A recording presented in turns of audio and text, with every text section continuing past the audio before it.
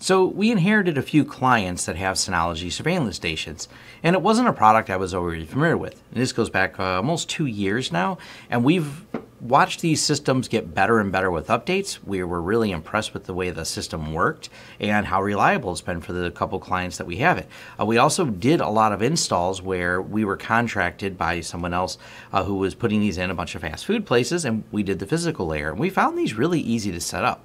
So we also deployed a few to our clients, and they've worked really well for our deployments, and they're not too hard to set up. And so I wanted to do a review of both one, using it for a little while with a few clients, and two, what you need to get started with the surveillance station. Now, the surveillance station software comes with your Synology server. Or you can also buy a Synology dedicated NVR that has HDMI out because the standard surveillance station, such as the one we have here, the DS918 Plus, doesn't have an HDMI out for video. And this is a request that comes up all the time. A lot of people like to have like that TV wall mount display where they have all the TVs displayed, or all the surveillance cameras displayed on the TV, I should say. Now, the other tools we're going to be using here are currently a Reolink right here, camera, and a Amcrest camera. I'm going to do a review of these cameras separate. They're not bad. Um, the Reolinks I like a lot. The Amcrest is a inexpensive uh, pan tilt camera that I think is has its use case. Uh, but like I said, I'm going to do separate reviews of those, and I'll leave links where you can buy these. They're neither one of these cameras are very expensive. They're both under $100. The list of cameras supported by the surveillance station is huge. We're going to cover that in a second. But uh, let's just dive right into the hardware and some of the options uh, before we get into the software. So this is the one we're using, the DiskStation DS918 Plus. We have a few hard drives in here, uh, you know, set it up in a RAID, and it's still using all the same features for file sharing and an NVR. It's kind of a nice multi-purpose small business device, uh, which we really like. We've, we've put a lot of these in small businesses, and they've worked really well. They also sell, if you want something more dedicated, is the network video recorder, NVR 1218. And these are kind of neat. We haven't reviewed these specifically, but I was noticing that this has the feature of up to 12 cameras, which is only a small couple drive system. Uh, comes with a few camera licenses. We'll get to the licenses in a second. Um, but this has the HDMI out. Now, for larger installs, where, or even if you want to use multiple cameras on a HDMI display, they do sell the visual station. And this is kind of a neat add-on, so you can buy this Synology NAS or even a larger one, depending on how many cameras you have for an install. And then you get the visual station, which then allows you via a network connection to bring it to a TV and then actually control it from there. So uh, you could have a monitor or a security room where all the cameras are being watched. And this is a really neat feature. Now, licenses. I know this is like a well, there's confusion uh, with some people and also a point of contention where they're like, I don't want to have to pay for licenses for everything. The good news, and Synology to me did this right, uh, they do have a license fee, uh, but that license fee is one, one time, two, transferable. I think those are really um, important features. So if I license these cameras on here and then I buy a new Synology, I can transfer the licenses to the other one. I did contact Synology, and this is what they told me was done. I actually went to one of their uh, seminars, and this is this was a point I wanted to make sure that every time we upgraded uh, a client to a newer, bigger NVR and added more cameras, that at least the license we had purchased would come with it. And you do get certain amounts of licenses uh, based on which model you buy. The default, like with our DS918, is only two camera licenses. Uh, we have two cameras hooked up, but the license price license pricing on Amazon, and I granted, you can probably find this cheaper uh, elsewhere. I haven't really dug around much. We have vendors that I think on bulk purchases we've gotten them for less. Uh, but one license is 56, four licenses is 100, bring it down to like $50 license, and then you get a further discount with the eight license here uh, for 359. So not not unreasonable. And like I said, these are one time per camera. Uh, that in far as I know, changing out the camera, it's a count of cameras that's allowed to be on the system as what you're buying. It doesn't license the camera itself. It just licenses the count of cameras that are on there. Now, they have a surveillance station IP camera support list, and this is uh, over 7,100 IP cameras from, I'm sorry, 71,000 from 140 renowned brands. This is a great feature to me because they have so many on the list here. Basically, anything that's ONVIF supported, uh, seems to be on the list. They have some generic options too, because you can even try ones not on the list and it may work with them as well. So this is kind of nice. Now, the other advantage of this is, and we've seen this happen where we want to retrofit and use some existing IP cameras because they have, you know, a problem with the NVR or they don't like the way the NVR system works. Uh, retrofitting a system and using different cameras that is definitely an option here. Now I will comment because I know I've done a lot of UniFi videos, so someone's going to ask. Uh, to my knowledge, as of right now in July of 2019, UniFi still does not support ONVIF, so uh, there may be ways to make it work, but they're not part of the official support list, just an FYI for those wondering. And they have more information on their site about the licensing pack. Um, there are a couple weird cameras that are both supported, such as the Axis one, that I even say weird, non-traditional, uh, that may have multiple lenses. And some of those are some edge cases, and they do note that those, even though it's a single camera, because the camera produces more views off of a single camera, it doesn't kind of get you around it. So they're still going to charge you for the licenses for the views. Uh, that's just one of those things I wanted to mention um, is in here. So let's get into what this system looks like. All right, so let's start with how do you get cameras on here? It's actually pretty simple. I have these two cameras set up already. Uh, but if you want to add the cameras, they have a really simple wizard. Add camera. It'll walk you through all the setup options, uh, finding cameras when they're on the same network interface, generic ONVIF, and then from here it can lock onto the camera, go through the settings. If their camera has some special password, because it has such a broad list of camera supports, it'll actually try a lot of the defaults uh, and go in there. So that was really easy to add cameras. It wasn't that big of a deal at all. And because these are both supported, it was really a matter of a couple clicks and they were set up. Now, once you have the camera set up, let's look at the settings on them. So we're going to edit, and they've got edit or edit in batch. So if you wanted to batch perform operations and send a lot of settings to all the cameras, great that they have that. Uh, but you do have the option, of course, just to edit one camera at a time. So I'm going to go back to edit and choose, we'll edit just the real Reolink first. So device settings, um, video, choose the video format you like, uh, default H.264. There's going to be some varied options on here based on possibly what camera you get. Um, audio format, if the camera supports audio, you can set the stream resolution. Uh, if it has multiple stream options, this only has one stream profile. And I set it at the highest res, we set 10 frames a second, but of course it goes up to, and it's going to vary with models of camera. Uh, bitrate control variables only option, and we wanted the highest image quality on this. It also has some more specific options. Uh, if you want to enable the PTZ by default, this camera, it says PTZ, but this specific camera only has zoom option, but it's still whether or not you want that feature turned on, uh, you control it there. Then we go to record settings. Uh, pre-record time, post-record time, keep within last days. They give you, like I said, on every individual camera or edit it in batch, uh, you can uh, control all the details of the camera. You can set recording schedules how you want these streams to be handled.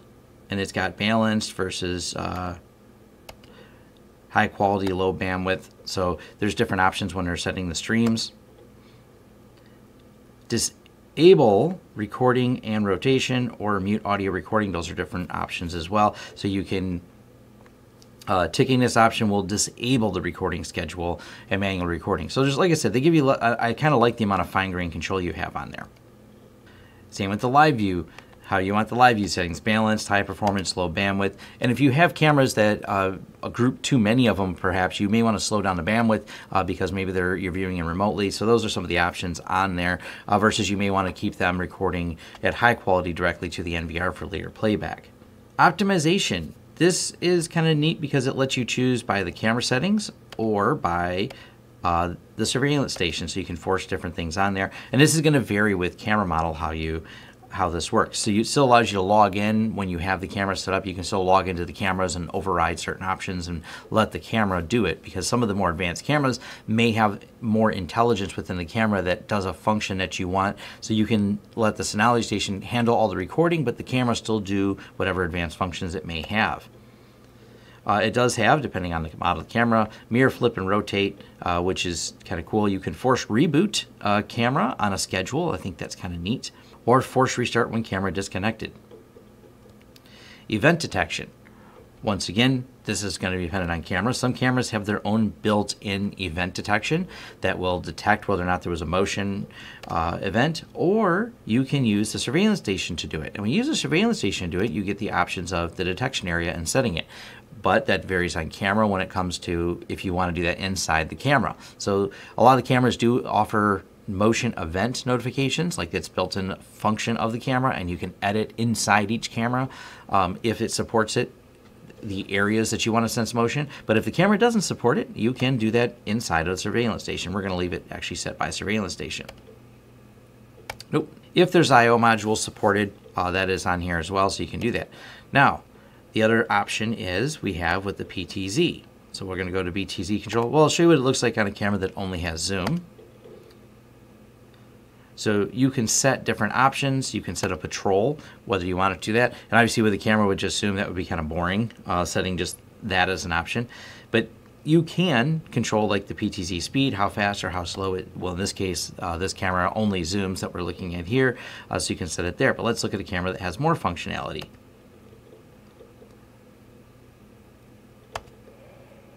And this allows us to set different positions. And how do we add another position? Pretty easy. Test. And then we just move the camera over. Actually, going to will it spin around and look at me? There we go. Here I am. Look at Tom. Save. And now you've got one more position. And if you were to set up the patrol, you could set it up to go to these different positions as a patrol. I'm not the hugest fan of the patrol positions, and I only bring that up uh, because it seems like they always will miss that event, even if you have them set there like, hey, the thing was about to happen. Uh, so we usually recommend for a lot of our clients put more cameras in if they want it because uh, patrolling is kind of you know, it's a mixed bag. You know, you've seen it in every uh, heist movie where they time the camera because they can see it panning around and things like that. But uh, take that for what it's worth. It's kind of it's really cool feature that it does have it. So, yeah, I, this camera works pretty good for this. It does not have zoom, uh, or I could set the zoom options as well, but this one just has it, and this one just has a zoom in and out. So we'll cover that more in a second. All right, so let's jump over to the live view and look what this looks like. So here's the cameras.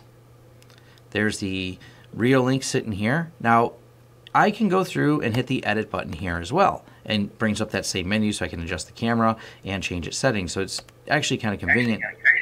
Oh, and I'm to turn my sound off because it's looping back.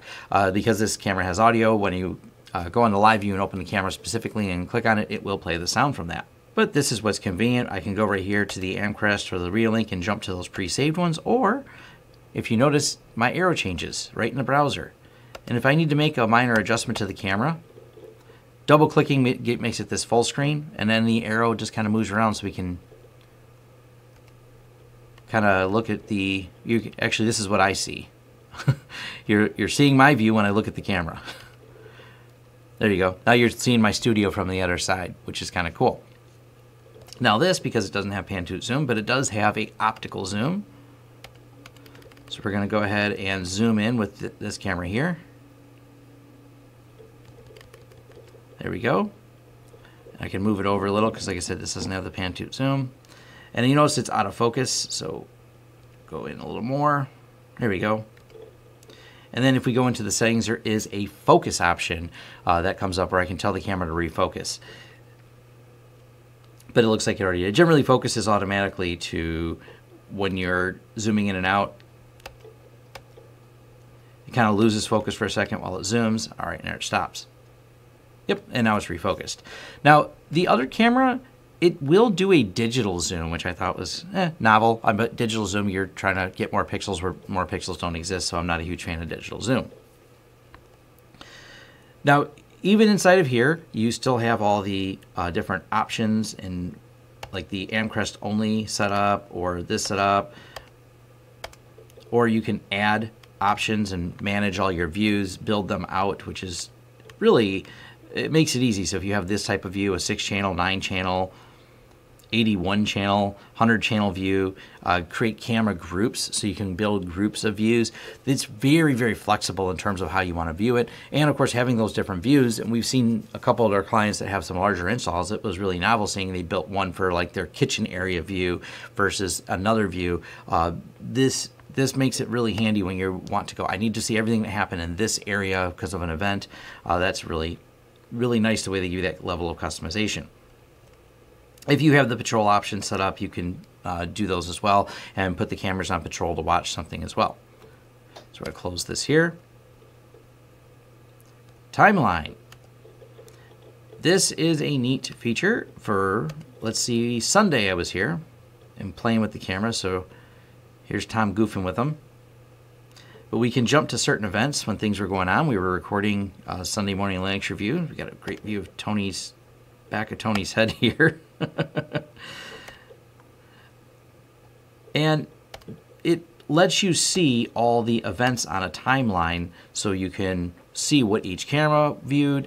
Um, I didn't have this one on at the time. I only had the one camera, but it kind of lets you jump back and forth between it. And I think that's a, a, a nice way to do it for the timeline. It's not hard to uh, figure out what happened and when it happened. And of course, how do we export things? Download the complete file, download the video clip. I like that you can pick this instead of having to try to figure out how to edit it later, which is sometimes you have to do with some camera systems. Uh, you can go through and just say, give me the clip from this moment to this moment because that's the interesting part of the clip.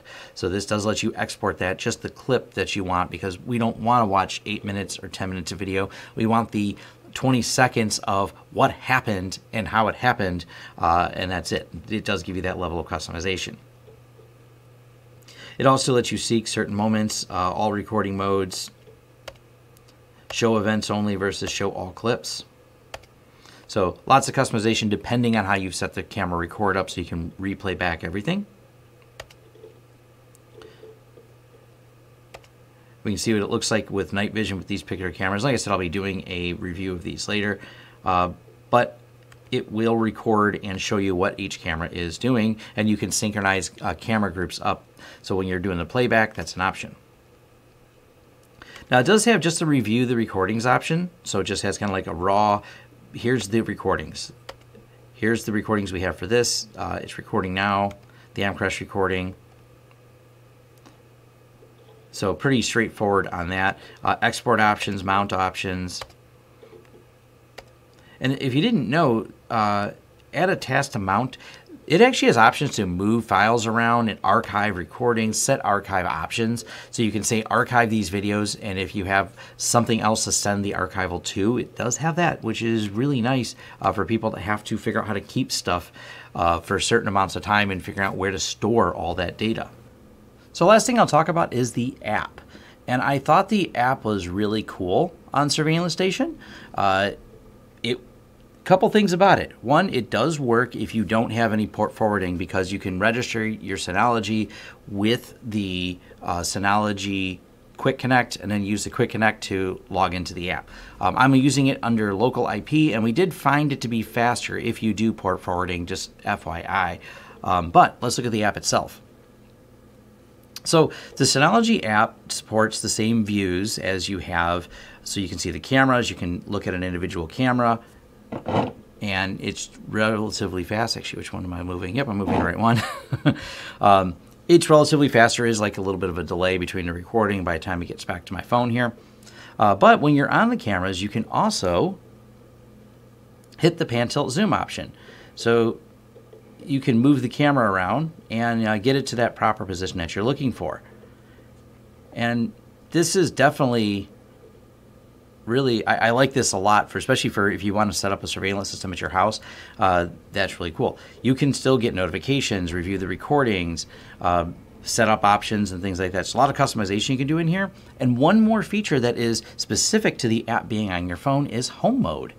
And what home mode does and we're going to talk about geofencing which is showing my shop right now because that's where i'm at um, So we can set the radius of home mode. And what this can do is you can customize the functionality of the system to say when I'm home, I don't need notifications because it's going to notify me that I'm home.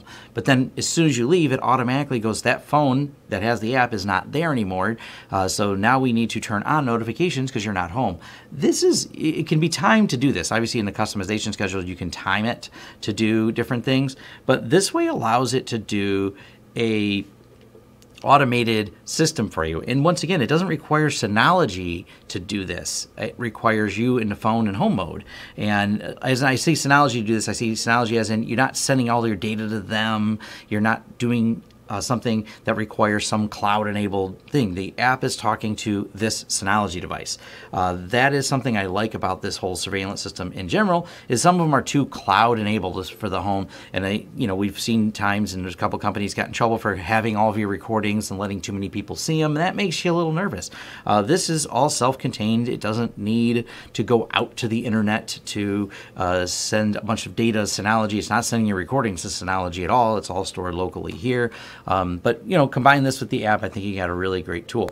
And in terms of documentation, including specific like this home mode and how it works, Synology's done a great job with documentation. So you can do a little bit of searching, and their Synology Support Center has a ton of different everything from help topics to tu tutorials of how to set and configure a lot of this stuff up.